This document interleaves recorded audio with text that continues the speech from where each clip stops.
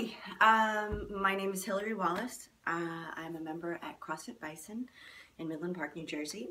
I am a 44 year old mother of two, and this is my video reflection on Lurong.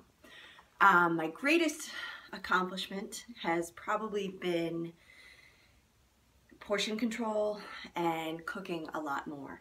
Um, my biggest obstacle was trying to be a positive role model for my 10 year old daughter and trying to make her realize that this was more about performance, uh, athletic performance, and less about fitting into my skinny jeans or, or fitting in in general.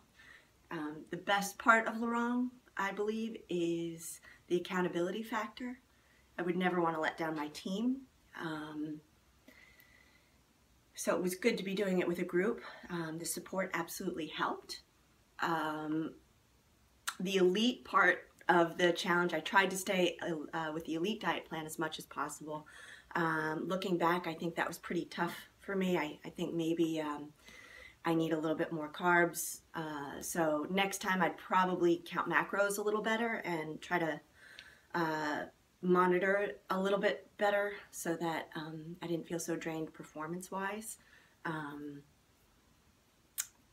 With four more days to go. um, these aren't my official numbers, but I am down 10 pounds. Uh, my energy is great. Um, not gonna lie, my performance has not been what I thought I could be. Um, but again, I think that has to do with my own faults and um, managing macros and um, times of day when I'm eating certain things.